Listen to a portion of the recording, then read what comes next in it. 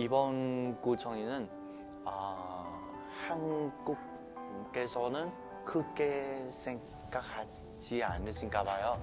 그래서 좀 요란하지 않더라고요.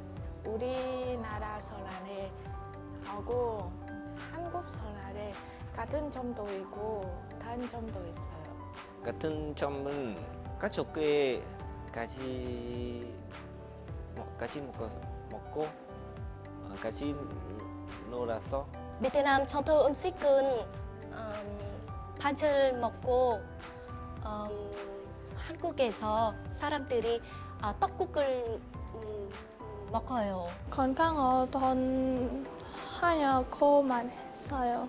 2년에 어, 뭐 하고 싶어요? 그 언제 결혼한 거예요? 아, 언제 결혼하려고 해요?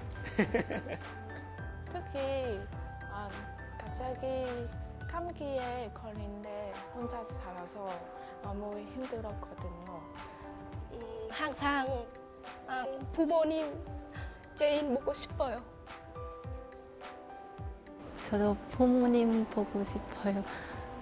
아버지랑 한번 안, 안 하고 싶, 안고 싶어요. Ờ, con sẽ ở Hàn Quốc sẽ cố gắng học thật tốt và sống thật vui vẻ để về cùng với gia đình mình.